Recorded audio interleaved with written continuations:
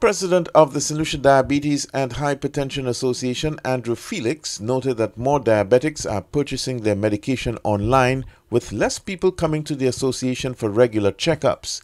This has resulted in decreased revenue for the organization, which is now finding it difficult to meet its financial obligations.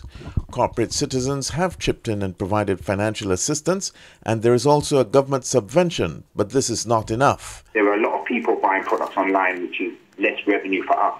Over the next three months, because of revenue, now I'm mentioning revenue, um, it's going to be very difficult for the Diabetes Association to sustain its current pattern because we have to pay rent, we have to pay staff. So the association itself may have to um, relocate, and it's, it's not looking very promising in terms of us being advocates for persons living with diabetes. Mr. Felix is calling for the organization to be part of the Ministry of Health he says it cannot continue to operate as a standalone entity. We have to be realistic. You know, um, all organizations are suffering right now. You know, MASFI helps us out a lot. NIC helps us out. Um, and there are other organizations that help us out. And we do get donations from um, the churches as well, give us donations. Who have passed away from diabetes and hypertension.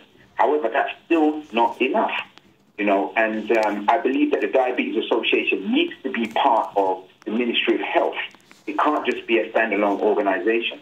It needs to be part, part of the Ministry of Health, and we need to be pushing it as one of those organizations that's going to reduce the cost and the deficit of healthcare in St. Lucia. The association is in danger of shutting its doors if it does not receive the cash injection it needs to continue operating.